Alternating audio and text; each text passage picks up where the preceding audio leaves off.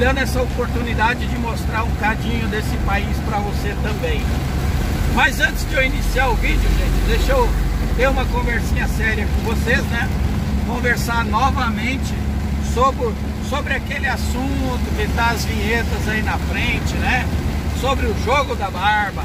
E daí, você já fez a sua doação? Não? Tem um recadinho aí da dona Esther para vocês. Ouçam aí o recadinho dela. Oi, pessoal. Obrigada pela ajuda de vocês. Continue nos ajudando a gente bater a nossa meta, né? E conseguir realizar, né? É, os nossos pagamentos que estão em aberto. Obrigada. Né, vó? Solta um beijo. É. Fica obrigado, pessoal. Obrigada, pessoal. Continue nos ajudando, É, né? É isso aí, gente. Se você já fez a sua doação lá pro, lá pro Estelar, Esther. Sterlar, né? Isso. Sterlar. Meu, muito obrigado de coração, muito obrigado mesmo por você ter ajudado essa entidade aí, esse, essa, é, essa casa desses velhinhos aí. Muito obrigado mesmo. Se você não fez a sua doação, ainda está em tempo, tá? Nós estamos na nossa campanha aí até o final de novembro. Os dados estão, os dados da conta estão no início desse vídeo. É só você procurar lá e fazer a sua doação. Ok, galera? Eu vou colocar aqui os dados. Vai colocar aqui também? Vou. Isso, então põe aqui depois desse assunto, tá? Aí, galera, olha só, tapete preto agora BR-060. Estamos em Anápolis, Goiás. Olha a chuva que nós estamos pegando aqui em Anápolis, Goiás, gente. Olha aí, ó. Churrada forte, chuva forte mesmo. Eu, ia, eu vou conversar o assunto, né? Daqui a pouco com vocês. Enquanto isso, vocês vão, vão assistindo aí a nossa viagem no meio dessa chuva. Foi chuva nisso, hein? Ô, louco! Olha aí, a gente quando costuma vir aqui para a região de Anápolis, Goiânia, Brasília, eu e a Leila sofremos muito, sabe? A gente sofre muito com a situação da umidade aqui. Então a gente já fica com problema, né, Leila? Nariz e garganta, Quando não tem umidade. quando não tem umidade. Agora olha que beleza. Será que agora a gente vai ficar ruim por causa da umidade? Né? Então agora temos umidade bastante aqui, dá para ficar sossegado. Então, gente, olha aí, passando por Aqui é a entrada para Daia. Carta Goiás, onde a gente vai carregar na Carta Fabril. É, só que hoje a gente está passando carregado. E do lado de, do nosso lado esquerdo aqui é a cidade de Anápolis. E já passamos a divisa São Paulo e Minas, né? Temos até um vídeo para mostrar a divisa. E mostra o vídeo aí da nossa passagem pela divisa São Paulo e Minas Gerais. Divisa de estado São Paulo, Minas Gerais. Tchau, São Paulo. Tchau, São Paulo. Seja bem-vindo, Gerais. Olha o rapaz pescando aí, ó. foto. eu ia mostrar o rio. Olha aqui. Mostrar o rio. Olha o rio aí tá baixo, rio tá aparecendo até as pedras aí, ó. Ah, Muito baixo, muito baixo mesmo. Olha o pessoal andando, andando lá no meio do rio, ó. Andando bastante bem à frente lá. Eu teria medo de andar ali. Muito errado, mas de repente pode afundar isso aí, tá Olha ali o pessoal brincando. Tá bem gostoso mesmo, hein? Aí, Aqui ó. também. Cheio de gente aí, ó. Aproveitando as margens do rio. É. Só aproveitando. Chegamos ao estado de Minas Gerais. Primeiro estado de São Paulo.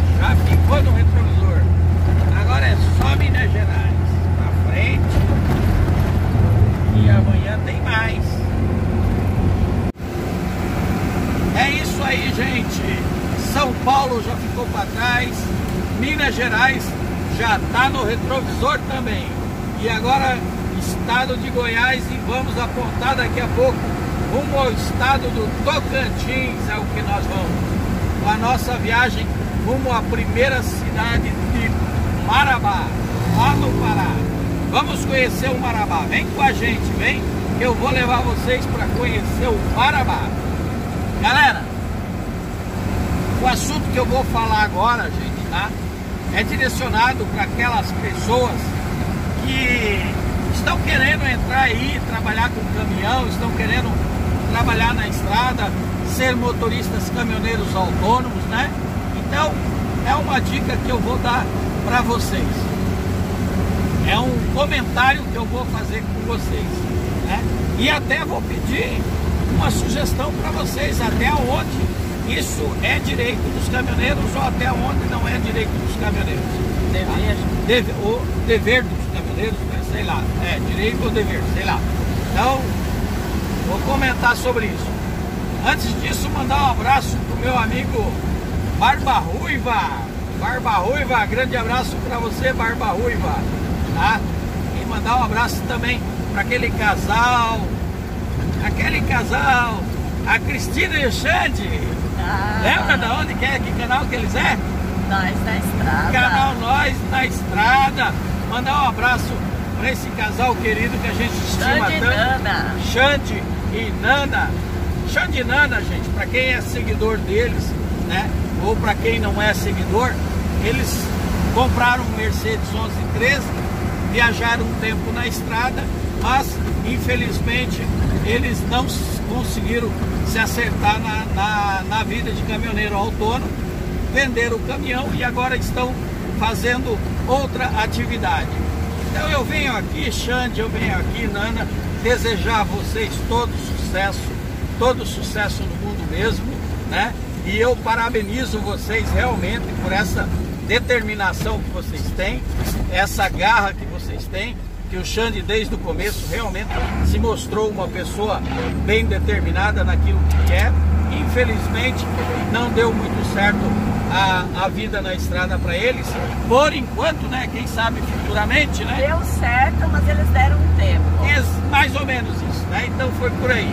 E agora eles estão com uma nova atividade e eu gostaria de, de parabenizar eles e desejar todo o sucesso do mundo nessa, nessa nova atividade e dizer se precisar do, do amigo, do casal amigo Marinheiro e Leila, estamos aqui ao seu dispor para qualquer coisa que vocês possam precisar, sabe que pode contar com a gente aqui também, tá? Grande abraço para você, Jante, Nana, um abraço. Mesmo longe, estamos sempre perto. Com certeza. Quanto mais longe, mais perto estaremos. é mais ou menos por aí, né? E um abraço também pro meu amigo Barba Ruiva, do canal Barba Ruiva. Espero que você assista esse vídeo Barba Ruiva, que pode ser interessante, tá? Gente, o que eu vou comentar aqui é, são os procedimentos que a gente tem com a transportadora quando a gente contrata uma carga, tá ok? Então, como funciona? Você tem várias modalidades, como eu já falei no passado aqui, de você encontrar a sua carga. Para você que não tem experiência nenhuma, a, a modalidade mais eficaz que você vai ter, vai ter os aplicativos de carga. Tá? São vários aplicativos de carga que você pode procurar aí, tem Fretbras, tem Footpad, tem um monte de outros aplicativos aí de carga, tá ok? Então você vai acessar primeiro os aplicativos de carga e ali você vai encontrar aquela carga que esteja compatível com você, que esteja indo para o destino que te interessa e que tenha o valor de frete que também te interessa, né? Aí você vai fechar contrato com a, contra, a, a, a transportadora. Primeiro você vai fazer o contato com o telefone indicado no aplicativo, né? Ou se você já tem uma certa experiência na estrada, você tem os seus contatos, você tem as pessoas com quem você já carregou, ou talvez com alguma indicação que você tem. Tá ok? Então você vai fechar o, o contato com a pessoa e nesse contato, gente, você vai precisar saber. Agora nós vamos dar uma saída aqui, gente, tá? A 400 metros. Vamos dar uma saída rumo a, rumo a, pra, a marginal aqui para pegar a Belém Brasília, né? Oh, pegar Belém Brasília? Não, Belém Brasília nós já passamos. Oh, desculpa a minha falha aí. Pegar a rua, é, sei lá se é Belém Brasília, de repente é. suave à tá? direita. Nós vamos pegar aqui a BR-153, tá?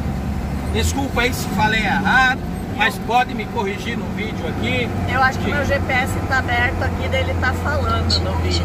É, é a Matilda, a Matilda que tá É o enchendo. meu GPS. O teu GPS também tá Não, falando? peraí. É.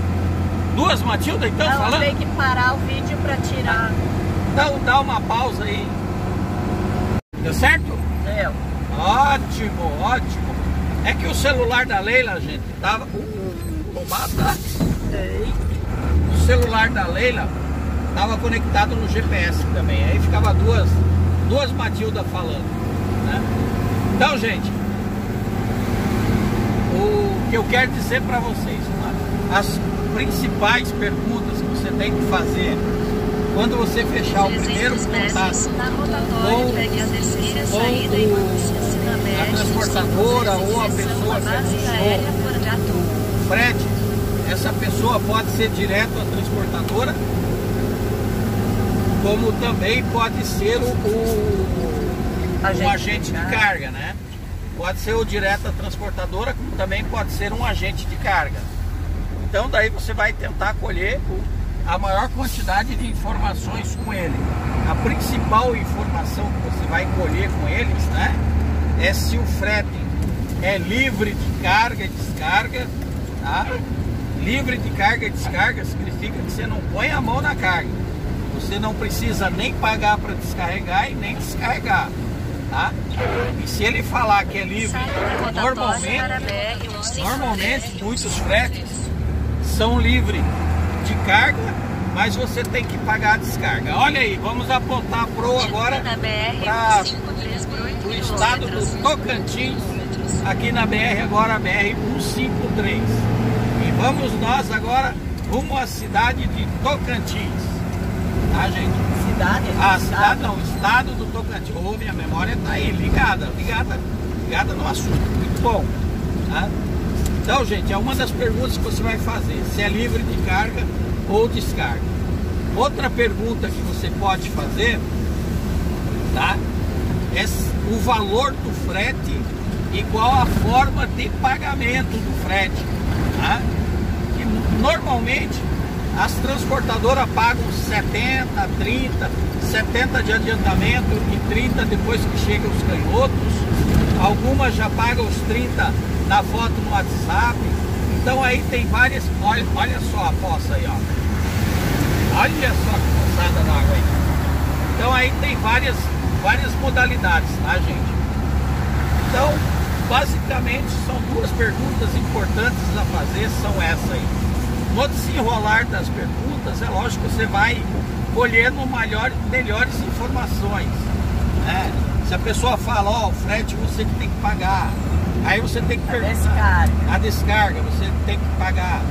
Aí você tem que perguntar se na empresa tem o pessoal para descarregar e a gente paga, se você precisa levar chapa. É, é- é importante que você esmiuça bem os detalhes para que você não chegue lá no local e não tenha chapa, não tenha nada e você não consiga descarregar teu caminhão, tá? Ou às vezes você contrata um chapa na entrada da cidade e chega lá na, na empresa, quem descarrega é a equipe da empresa lá e você tem que pagar para eles. Aí você vai pagar dobrado, vai pagar o chapa e vai pagar a empresa. Então tem que esmiuçar bem esses detalhes, tá, gente? O que acontece? Depois que você fechou a carga com a empresa, aí você vai dizer, olha, eu aceito esse frete, eu vou fazer. Aí você vai passar alguns documentos para que seja feita a sua análise para ver se você está compatível a carregar essa carga. A maioria das transportadoras, tá? Ela tem a seguradora da carga que vai avaliar o seu perfil e, e dizer se você está apto ou não para transportar essa carga. Vamos supor que você começou agora na estrada e você ainda não, não é filiado a nenhuma seguradora, tá? De, nenhuma seguradora de frete. Aí você vai dizer o que para a pessoa? Olha, eu não tenho pancard, eu não tenho bone, mas você pode fazer para mim o cadastro no pancard ou na bone desconta aí o valor do valor do frete, né? Normalmente a bone, você faz o cadastro, bone é o nome de uma, de uma seguradora de carga, tá? Você faz o cadastro na Boni, esse cadastro dura por seis meses, o valor é aproximadamente 30 e poucos reais. Eu acho que essa é só a... A Boni, né? Não, não é o cadastro. O cadastro eu acho que é mais. Tá, Depois, a, cada é só a renovação, meses é a renovação. Tá, então eu não sei qual que é o valor do cadastro. A renovação A Leila eles tá falaram dizendo- em 38 reais. A Leila está dizendo aqui que a renovação é 38 reais. Já o cadastro tem que se informar. Não sei. Me desculpem. E, e a Boni é em torno de cento e pouco e é para um ano. Tá? Você vai lá, paga a tu- o teu cadastro e fica um ano com validade. Aí Depois de um ano você tem que renovar, pegar o boleto e fazer a renovação. Tá ok, gente? Então, essa forma. Você vai mandar quais documentos? Você vai mandar documento do caminhão, CNH e a, a NTT, tá? Que é a guia da NTT, da Agência Nacional de Transportes Terrestres. Então você vai mandar esses documentos todos para a transportadora para ela avaliar o seu perfil e ver se a tua carga vai ser aprovada, se o teu perfil será aprovado para transportar essa carga. Aí, gente, tem muitas transportadoras que às vezes tem algumas exi- exigências, tá? Eu já vi transportadoras sempre pedir que quando for carregar, levar lona.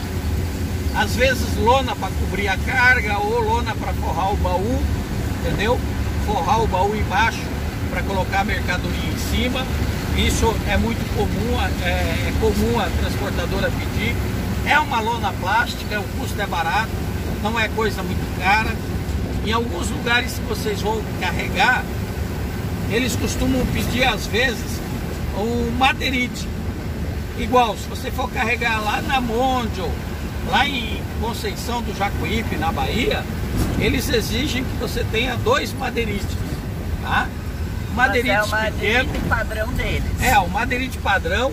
Normalmente lá eles até têm para vender, né? Tem uma pessoa lá que, que tem uma lanchonete lá que sempre tem um, um madeirite para venda lá. Então, são essas coisas. Isso aí, gente, até aí eu achei normalidade. Com Tem certeza cordas. cordas para fazer amarração. Bem lembrado, Leila, obrigado. Né? E tem gente que pede até mais madeirite. Fiquei sabendo que lá em Fortaleza eles chegam a pedir 14 madeirites. Nossa. Né? Só que esses madeirites, gente, são coisas que você vai usar com frequência nas suas viagens. E madeirite, lona, são coisas que frequentemente você está usando e realmente é bom você ter no caminhão essas coisas. Agora, ultimamente, pessoal, eu tenho visto transportadoras fazer uma certa exigência. E aí eu gostaria de saber até onde eles têm o direito de fazer esse tipo de exigência, tá? Eu estava negociando uma carga semana passada em uma determinada transportadora e a exigência deles era que eu tinha que levar 12 pallets para carregar. 12 pallets vazios para poder efetuar o carregamento. É lógico, eu ia chegar lá na empresa para carregar, os pallets já deveriam estar prontos lá, a mercadoria pronta, em pallets para carregar. E esses pallets eu daria a base de troca do que eles estavam me dando. Quando eu descarregasse o caminhão, eles, a empresa que eu descarreguei ia me devolver os 12 pallets. Aí eu te pergunto, gente, até onde é nossa obrigação dos motoristas, dos caminhoneiros, levar pallet para carregar. Gente, olha, a chuva está bem forte agora, aumentou bastante. Né? Então, gente, eu penso o seguinte, uma indústria que produz os seus produtos e não tem a capacidade de fornecer o pallet para o seu cliente ou cobrar do seu cliente o pallet, sei lá, gente, eu acho isso meio complicado. Aí jogar essa responsabilidade para o caminhoneiro, para o motorista que está comprando pallet para levar a mercadoria do cliente, tá? a mercadoria do fabricante. Pô, eu acho que isso já, já, já é um abuso do nosso caminhoneiro. Pelo seguinte, veja bem, se eu for colocar 12 pallets PBR no meu caminhão, gente, ele vai ocupar um espaço, pouco espaço no meu caminhão, tá? Mesmo que eu coloque eles empilhados um em cima do outro, ele vai me tomar praticamente um metro e pouco. É um metro cúbico. por um metro e vinte, mas daí a altura que eu não sei. Vai dar mais ou menos um metro, um metro e pouco de altura os 12 pallets. Dá tá? até mais de um metro cúbico. Então vai dar mais de um metro cúbico. Aí, aí eu te pergunto, gente, até onde isso é responsabilidade nossa de levar os pallets para ser carregados? A transportadora até disse, ó, se você quiser, nós fornecemos o pallet, tá? Só que você tem que vir aqui na transportadora, pegar o pallet, levar lá no fabricante e tem uma. Depois que descarregar, tem que trazer o pallet de novo para a empresa. Então quer dizer, gente, eu vou pegar uma carga, vou lá para Bahia, vamos supor, andar 2 mil quilômetros, tá? Vou descarregar e vou voltar com esse pallet para entregar para a empresa, sei lá quando que eu vou voltar para a cidade novamente, que nem o caso meu e da Leila, que a gente não tem destino. Vou ficar passeando com o pallet da, da transportadora aí. Ah, eu não acho isso certo. Ou eu, vai comprar o pallet e levar. Ou eu, a, a opção que eu tinha era de comprar 12 pallets, tá? Ir lá no cliente, carregar e depois descarregar, pegar os 12 pallets e procurar lugar para vender. É lógico né, que nessa compra e nessa venda eu vou sair perdendo, né? Porque você compra o pallet ao preço e as pessoas não vão te pagar o mesmo preço que você comprou para recomprar o pallet. Então, é uma situação meio complicada, tá? Eu acho isso um abuso com os caminhoneiros. Eu, na minha parte, não fiz o frete e gostaria de recomendar a todos os caminhoneiros que, pô, vamos se colocar nessa posição e não vamos deixar que nos, como eu vou dizer assim,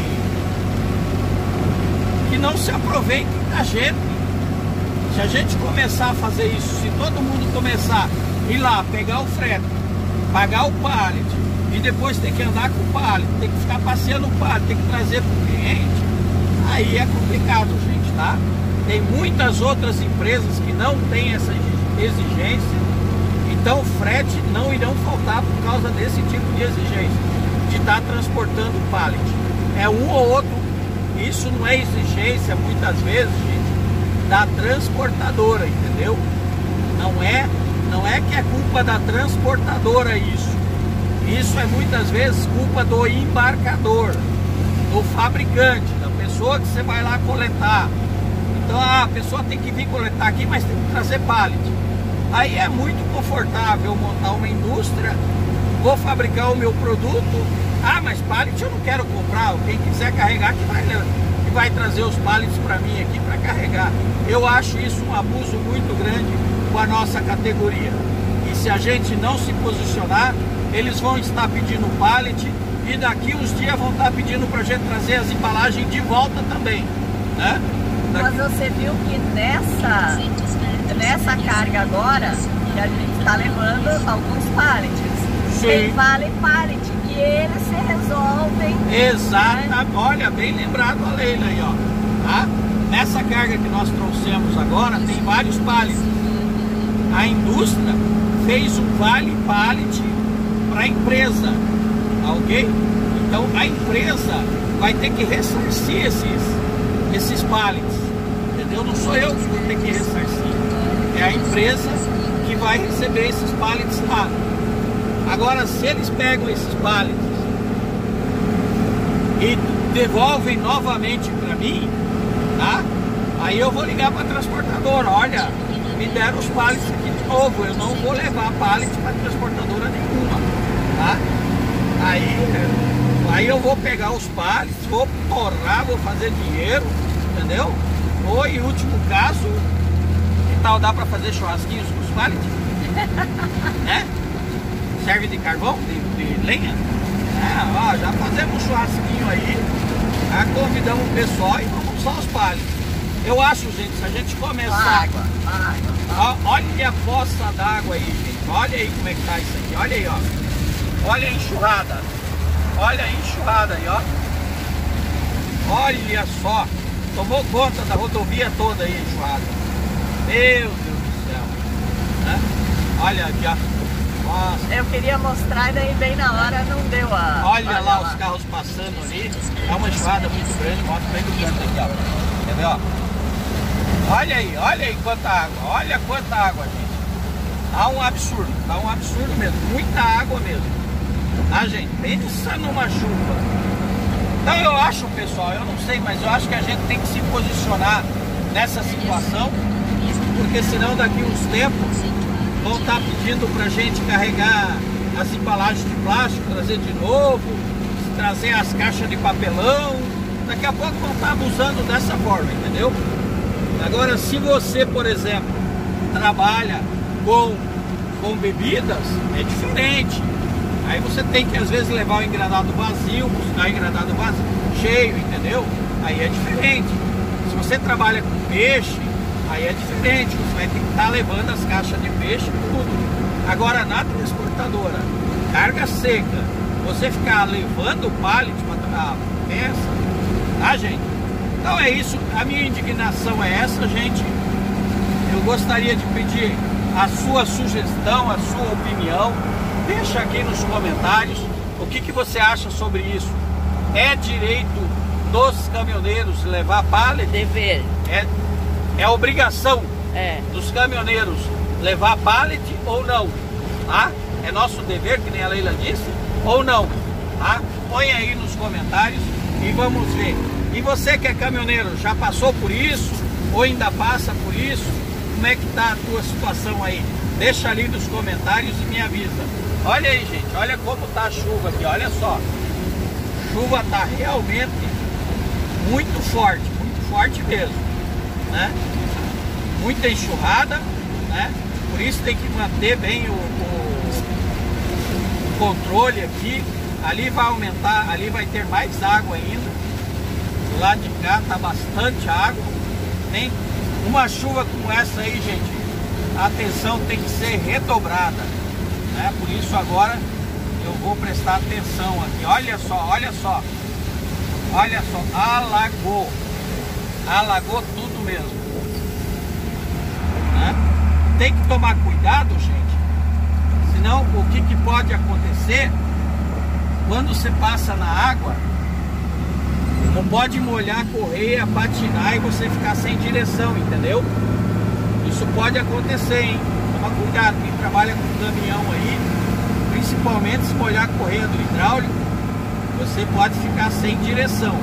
Então agora Galera, nós vamos terminar o vídeo aqui, porque o tempo está muito carregado, está muita chuva e eu vou prestar mais atenção na rodovia para não dar nenhuma zebra aqui, ó. Correia do caminhão já está patinando, está patinando bastante, mas não está chegando a travar não. Está patinando, mas está bem. Se a chuva aumentar ou se o, o, o tempo fechar mais, vou procurar um lugar seguro, parar um pouco, porque nós não temos pressa de entregar essa carga. Nós vamos entregar ela quando a gente chegar. Então, Qualquer coisa a gente para para que a gente possa chegar, né, gente? Tá ok, galera? Muito obrigado por ter assistido mais um vídeo aqui no canal do Marinheiro. Um grande abraço a vocês. Fiquem com Deus e que Deus os acompanhe. Olha aí, gente. Olha aí, caiu um galho na pista aí. Olha aí, ó. Olha aí, já caiu um galho aí na pista. Tem que ter muito cuidado muita chuva, muita chuva, caiu uma. Chuva bambu, e vento. Chuva e vento. Caiu um bambu na pista ali, já tivemos que desviar para não pegar. Tem que ser com cuidado. É bem capaz que eu. Alguém está indo bem devagarzinho lá do é, outro lado. Do outro lado também, bem devagarzinho, com muito cuidado. Essa chuva está bem, bem perigosa mesmo. Qualquer coisa nós vamos parar um pouco só que para isso nós temos que achar um local seguro para isso. Né? Agora tá aí.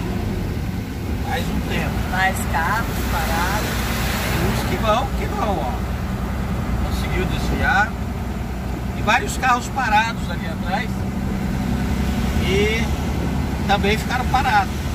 Quando acontece uma chuva dessa, gente, tem que tomar muito cuidado aonde você vai parar, tá? Não é vergonha parar esperar a chuva passar.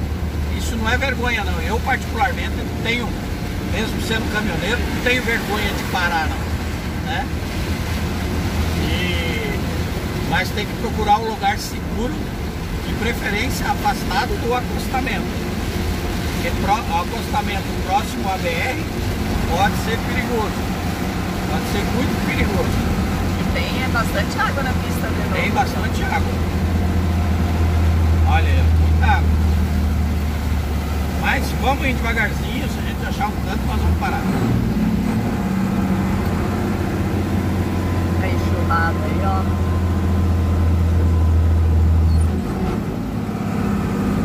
E também nessa terra aí do lado é complicado parar.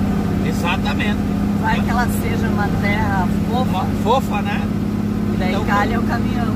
É, caminhão você tem que tirar do, afastado da rodovia, mas de preferência um lugar, um lugar que seja firme, né, para não afundar. Olha aqui, outra árvore quase caindo aqui, ó. Já tinha mais uma árvore caída no chão ali.